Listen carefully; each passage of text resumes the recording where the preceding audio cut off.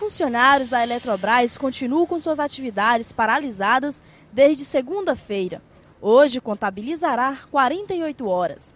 Eles reivindicam a implantação do plano de cargos e remuneração, o PCR, e o pagamento PLR, que seria a participação nos lucros. Ontem nós paramos com relação à PLR, participação nos lucros.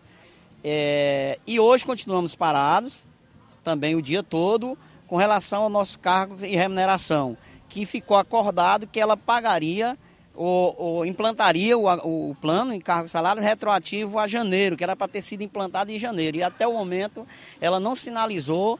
Então nós já estamos paralisando e sinalizando o seguinte: se até hoje, às 18 horas, a, a, a empresa não entrar em acordo com os trabalhadores a contento, iremos para a segunda, terça e quarta da próxima semana. Estes são apenas alguns dos acordos feitos entre a diretoria da Eletrobras e o Conselho Nacional de Energia, onde os empregados das empresas geradoras de energias do grupo seriam beneficiadas, mas, de acordo com funcionários, o acordo foi descumprido. No acordo coletivo, que se nós atingíssemos a meta de 100%, ela pagaria a PLR para os trabalhadores da distribuidora.